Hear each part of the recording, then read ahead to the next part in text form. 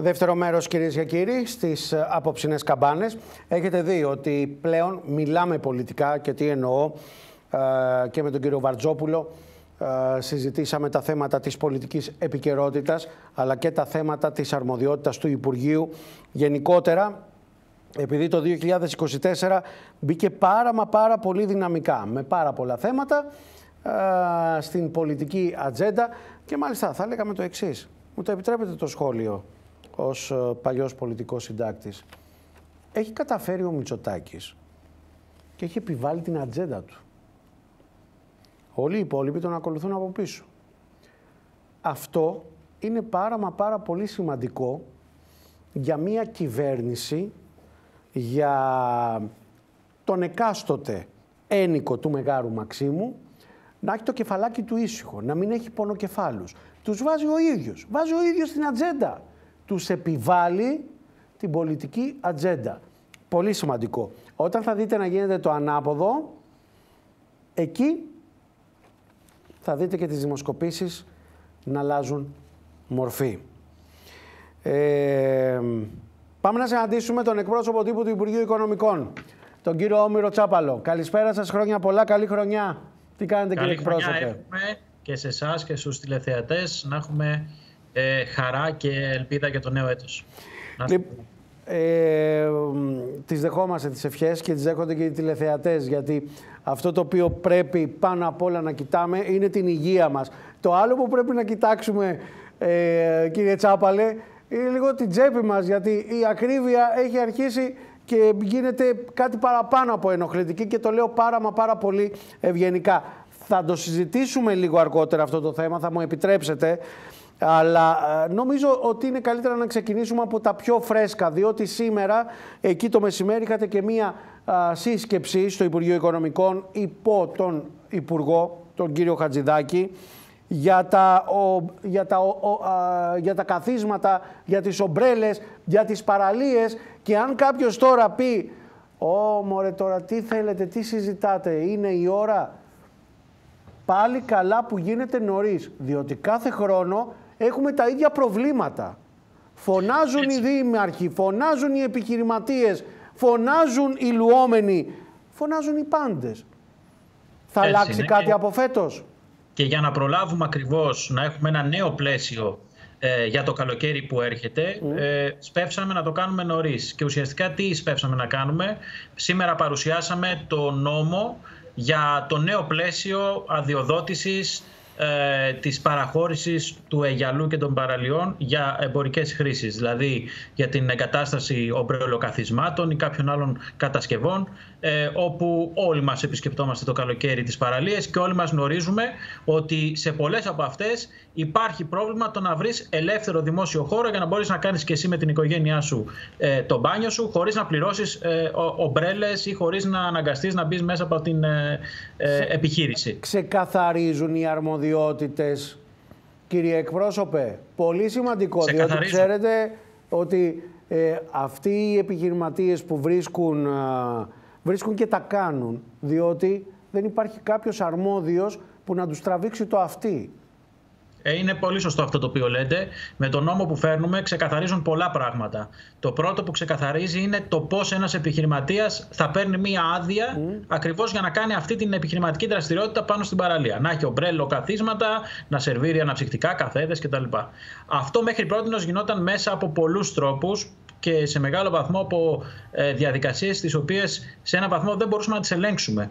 Ε, τώρα θα γίνονται ηλεκτρονικές διπλο, ε, δημοπρασίες, θα γίνονται δηλαδή ηλεκτρονικοί διαγωνισμοί όπου το οποιοδήποτε επιχειρηματίας ε, από οποιοδήποτε μέρος της χώρας θα μπορεί να έχει τη δυνατότητα να υποβάλει μια ε, αίτηση και να κερδίσει ενδεχομένως το συγκεκριμένο διαγωνισμό. Επομένως καταλαβαίνετε ότι αυξάνεται και ο ανταγωνισμός με αυτόν τον τρόπο, άρα θα ενισχυθεί και το τίμημα το οποίο θα λάβουμε εμείς ως Υπουργείο Οικονομικών ενισχύοντας στη συνέχεια και τα κρατικά ταμεία. Αυτό είναι το ένα.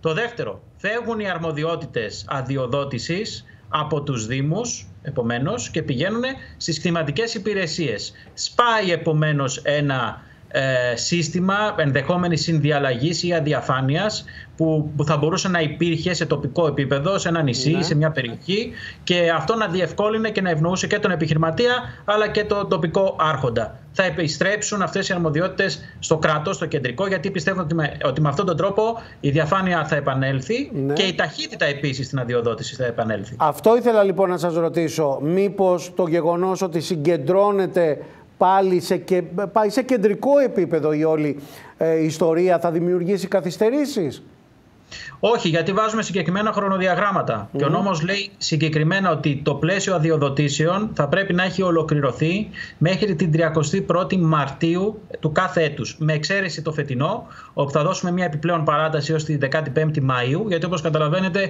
είναι ένα καινούριο σύστημα. Πρέπει να ε, συμμορφωθούν και να ε, ουσιαστικά να εξοικειωθούν και οι επιχειρηματίες με αυτό, αλλά και οι αντίστοιχες αρμόδιες κλιματικέ υπηρεσίες. Ο έλεγχος ε, από ποιον θα γίνεται; διαγράμματα με ξεκάθαρες ηλεκτρονικές διαδικασίες.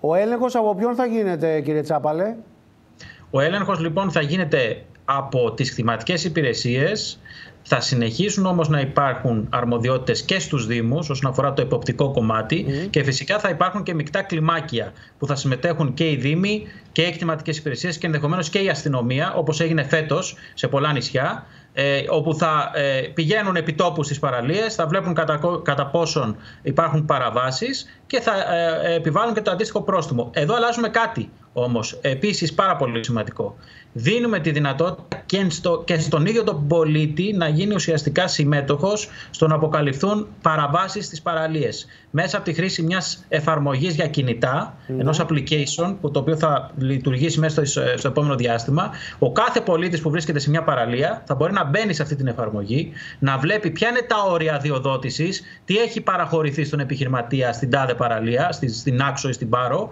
και αν διαπιστώσει ο ίδιος ο πολίτης ότι υπάρχει υπέρβαση αυτών των των οποίων έχουν συμφωνηθεί, μπορεί επιτόπου να κάνει καταγγελία ηλεκτρονικά. Και στη συνέχεια η κτηματική ε, ε, υπηρεσία με τα, μέσα από τα αρμόδια κλιμάκια μπορεί να έχει να κάνει επιτόπιους ελέγχους και να επιβάλλει τα αντίστοιχα πρόστιμα. Όπως επίσης θα χρησιμοποιήσουμε και drones, δηλαδή και τη χρήση της νέας τεχνολογίας. Με τη χρήση drones, τα οποία είναι διαδεδομένο σε πολλές χρήσεις πλέον στη δημόσια διοίκηση, έρχεται λοιπόν να γίνει και στο κομμάτι της παρακολούθησης των παραλιών και των αιγιαλών. Είμαι λοιπόν επιχειρηματίας, έχω κάνει την προσφορά μου, έχω κερδίσει ένα κομμάτι στην παραλία για να βάλω τις δικές μου ομπρέλες, τα δικά μου καθίσματα. Κατά τη διάρκεια του καλοκαιριού παρανομώ, επεκτείνομαι, επεκτείνομαι σε τέτοιο σημείο που ενοχλώ και τους λουόμενους, ενοχλώ και τα άλλα μαγαζιά. Ε, γίνεται καταγγελία, επιβεβαιώνεται η καταγγελία.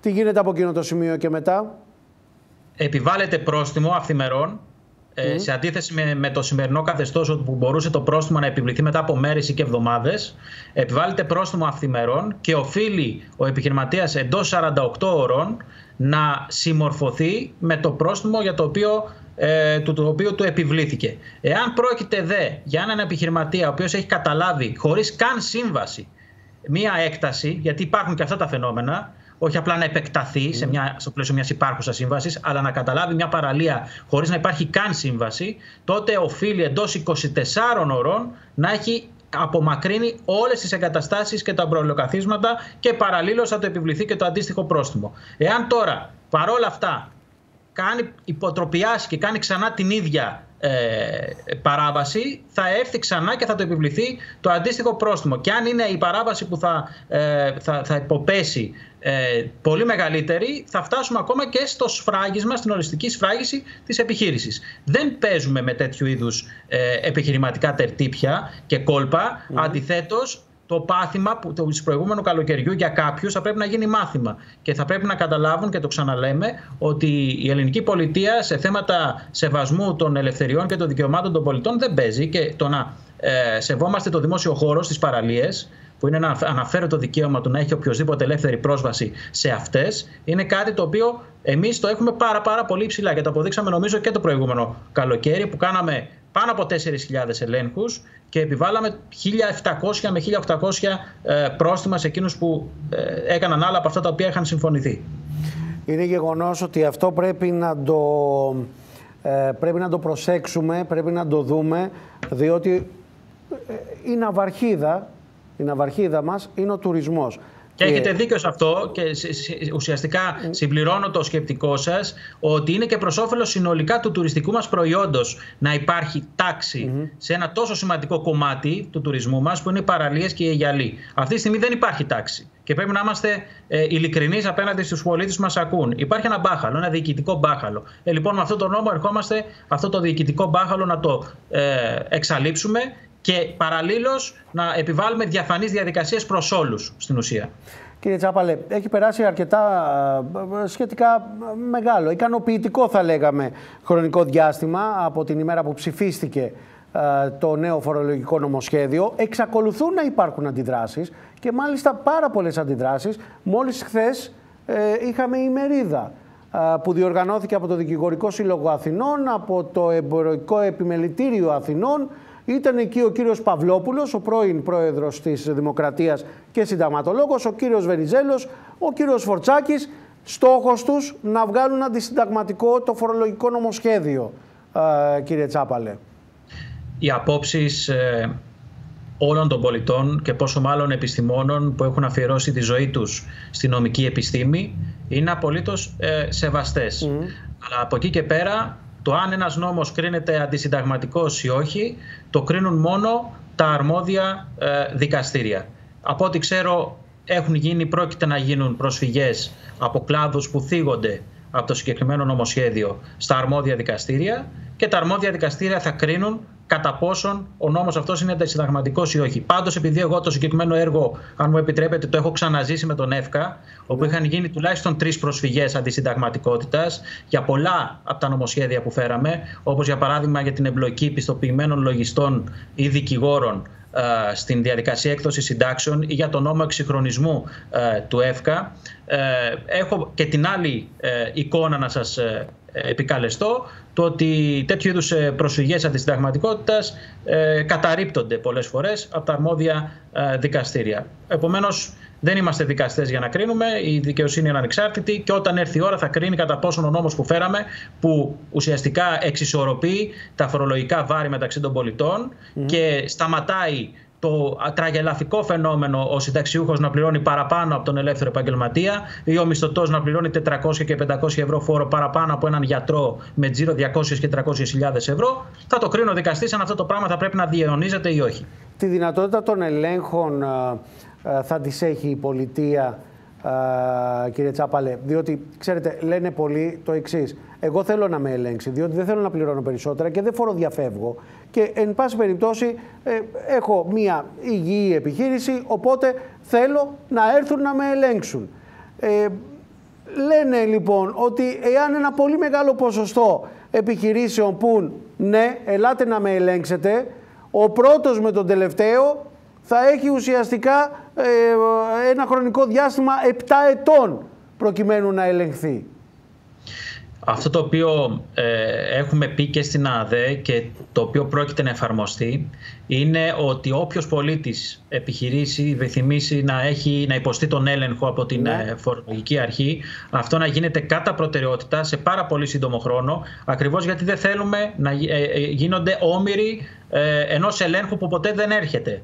Ε, αλλά η δική μου εκτίμηση και η εκτίμηση και του οικονομικού επιτελείου, αν μου επιτρέπετε, είναι ότι ε, δεν θα είναι πολλές οι περιπτώσεις εκείνες των πολιτών που θα δεχθούν εν τέλει να ελεγχθούν για να πληρώσουν ή όχι το ελάχιστο τεκμήριο από την, που, που, που, καλούνται να πληρώσουν. Όπως δεν έχουν υπάρξει και πολλές περιπτώσεις ε, συμπολιτών μας οι οποίοι δέχτηκαν να ελεγχθούν για τα τεκμήρια διαβίωσης. Τα τεκμήρια διαβίωσης τα πληρώνουν πάνω από ένα εκατομμύριο συμπολίτες μας κάθε χρόνο. Ξέρετε πόσοι ζήτησαν έλεγχο από την εφορία πέρσι; Μόλις 48 άτομα. Επομένως θα δούμε μέσα στους επόμενους μήνες τι θα προκύψει. Η δική μας εκτίμηση πάντως είναι ότι το τελικό πλήθος όσων ζητήσουν έλεγχο θα είναι περιορισμένο, εξαιρετικά περιορισμένο. Νομίζω ότι από, από την απάντησή σας ότι καταλαβαίνουμε πάρα πολλά κύριε Τσάπαλε.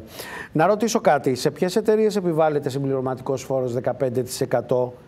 Ε, το, το, το, ακούσαμε στο Υπουργικό Συμβούλιο. Ε, ναι. Εχθές, ε, προχθές μάλλον, ε, στο Υπουργικό Συμβούλιο παρουσιάστηκε αυτός ο νόμος του Υπουργείου Οικονομικών. Είναι ένας ε, ευρωπαϊκός κανόνας.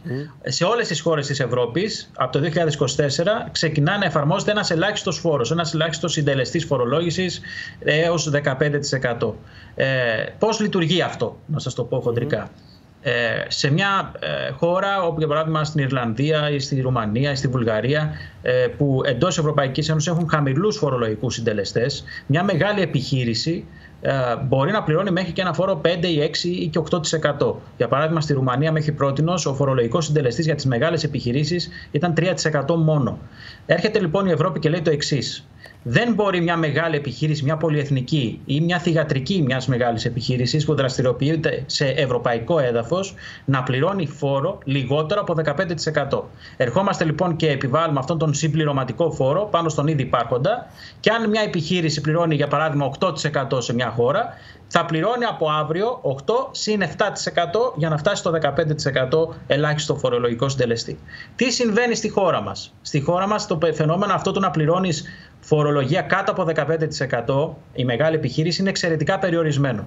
Ένας από τους λόγους είναι γιατί ο φορολογικός συντελεστής για τις μεγάλες επιχειρήσεις στη χώρα μας είναι 22%. Όχι 2, ούτε 3, ούτε 8%. Επομένως, υπάρχουν λίγες επιχειρήσεις που με διάφορους λογιστικούς τρόπους ή αξιοποιώντας κάποια φοροκίνητρα που υπάρχουν ε, σε περιπτώσεις που κάνουν επενδύσεις καινοτομίας ή ανάπτυξης δικαιούνται φόρο κάτω από 15%.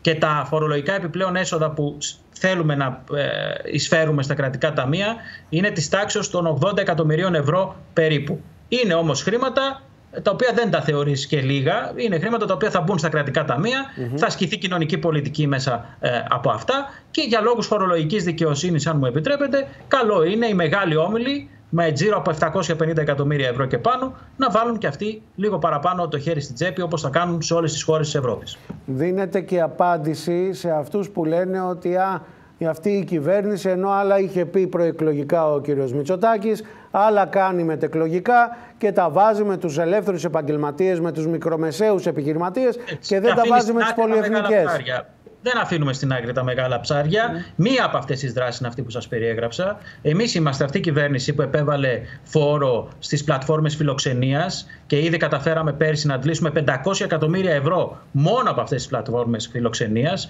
Αυτή η κυβέρνηση είναι που θέσπισε τον πιο αυστηρό νόμο για την καταπολέμηση του λαθρεμπορίου καυσίμων και θα δούμε τα αποτελέσματα αυτού του νόμου να εφαρμόζονται μέσα στο 2024 με θετικά αποτελέσματα για όλους μας. Επομένως, το επιχείρημα ότι εμείς κοιτάμε μόνο τους πολλούς και τους μικρούς και τα μεγάλα ψάρια τις έχουμε στο απειρόβλητο, εκ των πραγμάτων δεν μπορεί να, να στέκεται ως επιχείρημα. Ε, Σας έχω ήδη πει τέσσερις περιπτώσεις του πώς επιβάλλουμε παραπάνω φόρους στους μεγάλους. Κύριε Τσάπαλε, ε, γιατί πάλι μπέρδεμα εκεί με τα αναψυκτικά, τι ισχύει τελικά με το ΦΠΑ στα αναψυκτικά; Κοιτάξτε να δείτε. Τι, έχει αλλάξει ένα μόνο πράγμα σε σχέση ναι. με αυτό το οποίο ίσχυε τα τελευταία χρόνια. Από 1η Πρώτη του 2024, ο ΦΠΑ για τα μη αλκοολούχα ποτά, για τα αναψυχτικά και τους χυμούς, σε περίπτωση που αυτά καταναλώνονται σε ε, χώρο εστίασης, δηλαδή είναι σερβιριζόμενα προϊόντα, ναι. επέστρεψε στο 24% από το 13% που ήταν τα τελευταία χρόνια. Θυμίζω ότι κάποτε, τα περισσότερα χρόνια, τα τελευταίες δεκαετίες, ο ΦΠΑ για αυτά τα προϊόντα ήταν στο 24% και όχι στο 13%. Ναι. Για τα προϊόντα τώρα τα οποία ε, για τα ίδια προϊόντα που είναι είτε take away ή delivery ή στα super markets και στα mini markets και στα περίπτερα, ο ΦΠΑ παραμένει στο 13%. Αυτό είναι μόνο, δεν έχει αλλάξει κάτι άλλο. Και θυμίζω επίσης ότι ο καφές είτε είναι σερβιριζόμενος, είτε είναι σε take away, delivery ή στο ε, super market, είναι στο 13%. Δεν έχει αλλάξει κάτι όσον αφορά τον ΦΠΑ στον καφέ, στο τσάι και στα υπόλοιπα πευσίματα. Ποιο είναι το σκεπτικό το σκεπτικό είναι ότι. Ούτως ή άλλως, για ποιο λόγο σας ρωτάω; Ούτως ή άλλως, εάν πάμε σε ένα εστιατόριο ή σε μια καφετέρια, το σαλόνι που λέμε είναι τσιμπημένο, είναι πιο ακριβό από το take away. Θα σας πω. Είχαμε να επιλέξουμε ανάμεσα σε δύο επιλογές. Ή θα αυξάναμε τον ΦΠΑ στα ίδια προϊόντα, στα αναψυκτικά και στα μη αλκοολούχα, στο σούπερ μάρκετ και θα το πηγαίναμε στο 24% ή θα επιλέγαμε αυτό το 13% να γίνει 24% σε εκείνους που το χρησιμοποιούν αυτό το προϊόν, το, το καταναλώνουν πηγαίνοντας σε μια καφετέρια σε ένα εστιατόριο. Επιλέξαμε να στηρίξουμε το ελληνικό νοικοκυριό και τις περισσότερες πωλήσεις που γίνονται μέσα από τα σούπερ μάρκετς και στα mini markets και τα περίπτερα. Και επαναφέραμε ουσιαστικά το 13, από το 13 στο 24 στα, στα σερβιριζόμενα μη αλκοολούχα ποτά. Ήταν για λόγους περισσότερο δικαιοσύνης, αλλά και γιατί δεν θέλαμε να χτυπήσουμε το ελληνικό νοικοκυριό που καταναλώνει περισσότερο αυτά τα προϊόντα μέσα από το σούπερ μάρκετ, παρά εκείνους οι οποίοι επιλέγουν να το καταναλώσουν πηγαίνοντας σε ένα χώρο εστίασης. Θέλω να κλείσουμε με το εξής. Πρέπει να σας πω ότι από, την, από χθες που ακούσαμε και άκουσαν οι τηλεθεατές τον Άδωνη Γεωργιάδη, τον νέο Υπουργό Υγείας, να λέει ότι διαγράφονται τα πρόστιμα ε, σε όλους όσοι δεν είχαν εμβολιαστεί ηλικιωμένοι και ουσιαστικά ε, του, τους βάρινε το συγκεκριμένο πρόστιμο και πολλοί ρωτάνε το εξής αυτοί που έχουν πληρώσει τα πρόστιμα, κύριε Τσάπαλε; Αυτό, κοιτάξτε να δείτε, είναι απόφαση του Υπουργείου Υγείας του, του τι ακριβώς θα γίνει. Ε, πράγματι έχετε δίκιο ότι ένας σημαντικός αριθμός συμπολιτών μας έσπευσε να πληρώσει το συγκεκριμένο πρόστιμο και μάλιστα να το πληρώσει και με ε, τόκους που είχαν επιβληθεί λόγω καθυστερημένης πληρωμής του. Ε, είναι απόφαση του αρμόδιου Υπουργείου ε, το πώς, ε, ακριβώς, τι ακριβώς θα προβλεφθεί με εκείνους οι οποίοι έχουν σπεύσει ήδη να πληρώσουν ε, το συγκεκριμένο πρόστιμο. Εμείς ως Υπουργείο Οικονομικών και φυσικά η ΑΔΕ είναι έτοιμοι οτιδήποτε αποφασιστεί να το εφαρμόσει. Άρα λοιπόν περιμένετε ουσιαστικά την τελική απόφαση και αν και εφόσον Ακριβώς. υπάρξει... Ο, ο Υπουργός Υγείας ναι. περιέγραψε ένα και περιέγραψε κάτι το οποίο θεωρώ ότι σε γενικές γραμμές ανταποκρίνεται και στο πνεύμα της σημερινής εποχής. Δεν ζούμε σε εποχές ε, συγκρουσιακές, δεν πάμε να βάλουμε στη μαύρη λίστα όλους τους συμπολίτες μας εκείνους οι οποίοι αποφάσισαν για χύψη λόγους να μην εμβολιαστούν. Αυτό το οποίο κάνει είναι να τίνει μια χείρα φιλίας, όπως και ο ίδιος είπε, σε εκείνους τους συμπολίτες μας, προκειμένου να τους δείξει ότι και η πολιτεία είναι με το μέρος τους. Από εκεί και πέρα τις λεπτομέρειες θα τις ναι. μάθουμε μέσα στις επόμενες μέρες. Φαντάζομαι ότι είναι νωρίς ακόμα για να σας ρωτήσω εάν έχει υπολογιστεί αυτό το ποσό πόσο είναι, πόσο υψηλό είναι ε, που θα επιστραφεί. Είναι νωρίς ακόμα. Θα τα κάνουμε όλους αυτούς τους υπολογισμούς, να δούμε και το εύρος όσων και θα είμαστε σε λίγες μέρες έτοιμοι για περισσότερες πληροφορίες. Σας ευχαριστώ πάρα πολύ. Σας ευχαριστώ που ήσασταν κοντά μας απόψε. Ευχαριστώ. Να είστε, καλά. καλά. Καλή συνέχεια. Καλό σας βράδυ. Κυρίες και κύριοι, ε, εμείς ε, θα πάμε σε διαφημιστικό διάλειμμα. Ε, ολοκληρώσαμε το δεύτερο μέρος. Ε, νομίζω ότι ο κύριος Τσάπαλος έδωσε απαντήσεις σε όλα τα ζητήματα. Τώρα, οι πολυεθνικές εταιρείες όντως πρέπει να δίνουν περισσότερα χρήματα. Πώς δεν το κάνουμε αυτό; Όντως πρέπει να στηρίζουν την ελληνική οικονομία όσο γίνεται περισσότερο. Γι' αυτό το λόγο είναι και πολυεθνικές. Έτσι. Δεν μπορείς να ε, ουσιαστικά να συνθλίβεις ή να περιορίζεις τις οικονομικές δυνατότητες των μικρομεσαίων επιχειρηματιών, επιχειρήσεων και τις πολυεθνικές να τις αφήνεις στο απειρόβλητο. Νομίζω γενικότερα ότι και αυτό με το 15% στις πολυεθνικές εταιρείες. Έχει σημασία και συμβολικό χαρακτήρα, αλλά και το γεγονός ότι είναι η πρώτη φορά που τόσο νωρίς προσπαθεί να νοικοκυρέψει το Υπουργείο Οικονομικών την όλη κατάσταση στις παραλίες με τα ομπρελοκαθίσματα και όλα τα σχετικά. Θα το δούμε βεβαίως στην πράξη. Εμείς λέμε μία θετική κουβέντα επί της αρχής και επί της πρωτοβουλίας. Τώρα, τι θα κάνουν, πώς θα εφαρμοστεί και ποιο θα είναι το αποτέλεσμα. Εδώ θα είμαστε για να τους κρίνουμε. Τώρα αυτό με τα αναψυκτικά, δεν ξέρω τι να σας πω. Επίσης θα φανεί στην πράξη. Ναι, αυτός ο οποίος θέλει να αγοράσει κάτι για να το έχει στο σπίτι του, ασφαλώς πρέπει να το παίρνει, να το αγοράζει πιο φθηνά. Εγώ μένω όμως το εξής, ότι έπρεπε να επιλέξει για παραπάνω έσοδα το Υπουργείο Οικονομικών ανάμεσα σε δύο δρόμους. Είχε δύο επιλογές. Σε κάθε περίπτωση όμως έψαχνε να βρει έσοδα. Αυτό. Πάμε σε διαφημιστικό διάλειμμα. Στο τρίτο και τελευταίο μέρος έχουμε αρκετά και ενδιαφέροντα πράγματα να πούμε. Διαφημίσεις παρακαλώ.